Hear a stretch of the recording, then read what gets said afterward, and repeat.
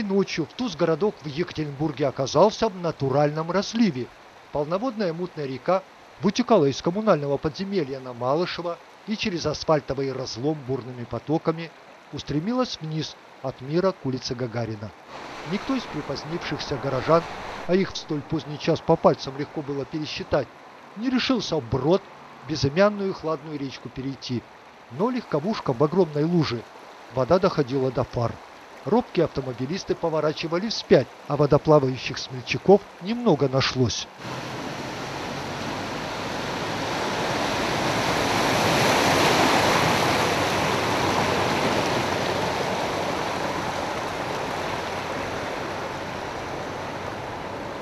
Пока ремонтная бригада с остальными крюками по луже бродила, пытаясь в воде отыскать нужный колодец, в водоканале уточнили, что коммунальная авария произошла на магистральном водоводе полуметрового диаметра.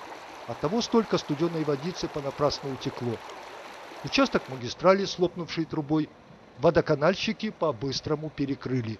И жилые дома, а также магазины и прочий соцкультбыт не оставили обезвоженными. Оборные потоки, текущие по асфальту, работники водоканала объяснили забитыми ливневками на улице Малышева, тем самым бросив упрек городским благоустроителям.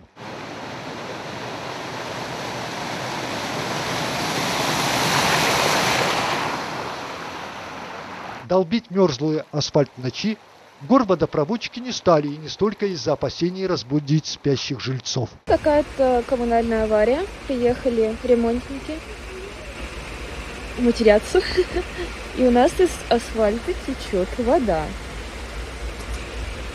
МУП водоканал уточнили, что раскопки на улице Малышева перенесли на сегодня, чтобы успеть согласовать с нужными инстанциями землеройные работы.